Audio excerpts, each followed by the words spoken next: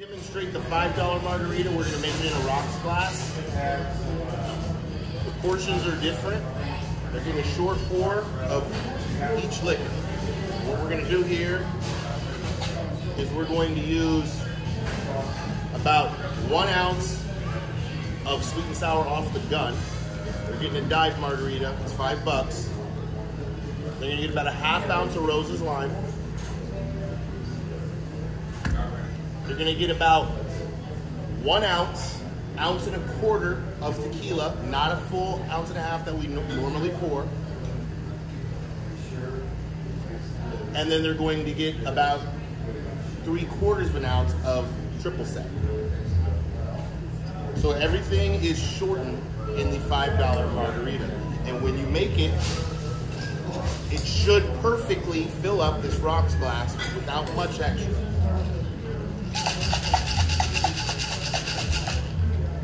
Grandma used to say, you get what you pay for.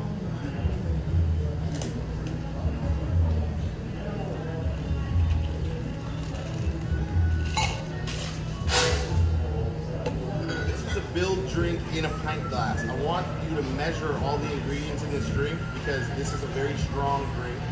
And, we, and any amount of overpouring will be even more dangerous than it already is. So please measure every ingredient. So we are going to start with the liquors. We're going to go one ounce of each, right? One ounce of each. White rum.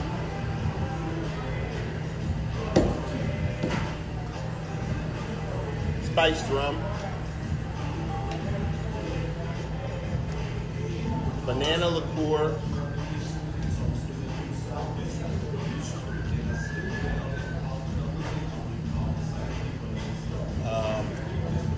Black raspberry.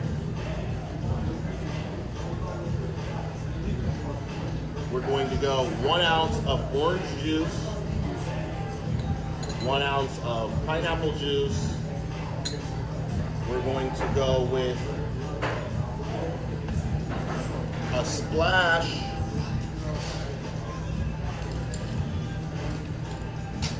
of grenadine.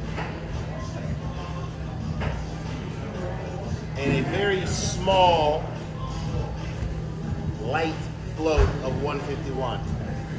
This is in our high octane category and it's the sweetest one. Don't sell more than two to somebody in a couple hour period.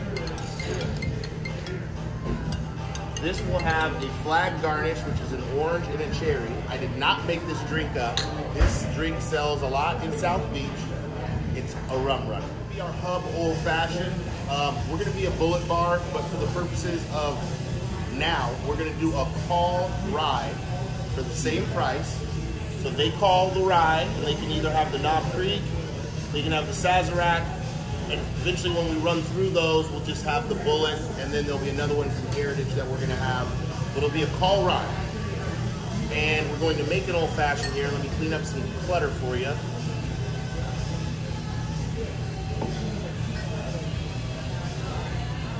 One orange piece and one cherry in the bottom of a rocks glass. Three to four good dashes of bitters.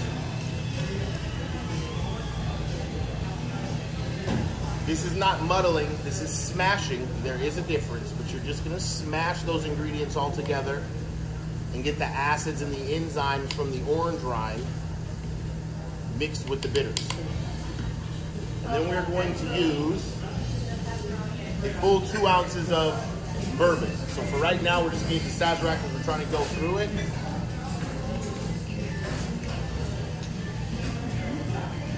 Notice I haven't put the ice in yet. I like to mix the bourbon in with all the ingredients before I add the ice.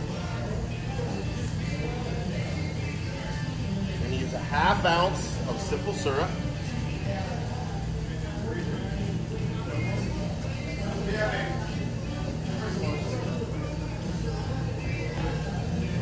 give it a little mix without anything in it. I'm gonna add my ice.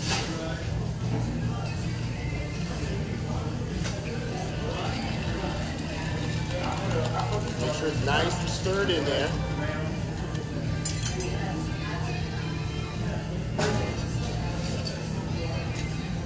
That is a classic pub old fashioned. Okay, so this is our final drink. I think we will sell a lot of these. This is a great summer drink, um, and it's different than anything anybody else is doing. So we're gonna chill a cocktail glass.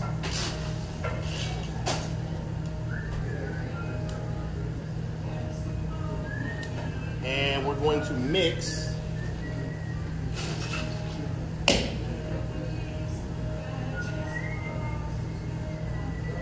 going to mix a half ounce of simple syrup.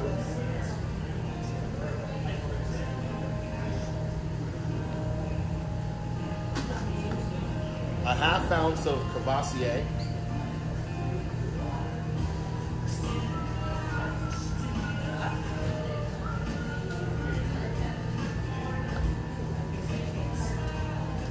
We're going to use one ounce of Chardonnay.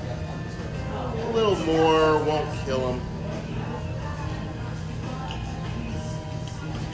We're gonna shake those ingredients.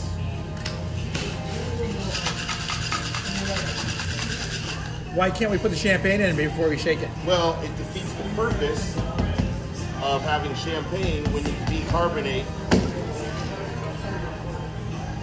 and you kill all the carbonation. So that is a very important step there, Captain. Where is my, all my strainers? So you strain those ingredients into the chilled cocktail glass. You fill with champagne.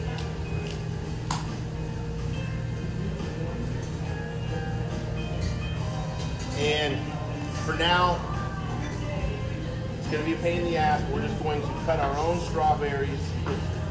We're not gonna waste them until we start selling them and moving them a lot. We'll put three little slices of sliced strawberries inside the champagne bowl.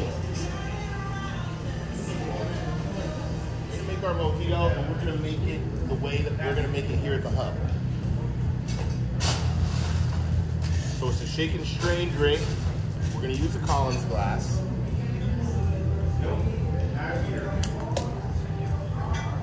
You take three limes in the bottom of a shaker. I want you to mash those limes up by themselves.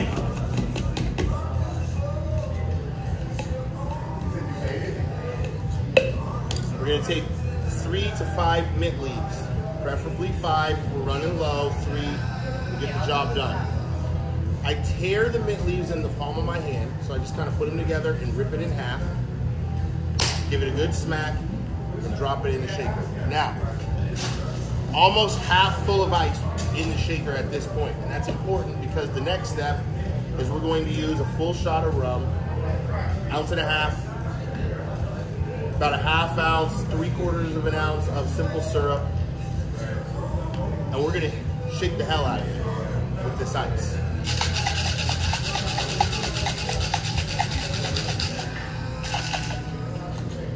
And now we're gonna strain it in the Collins glass.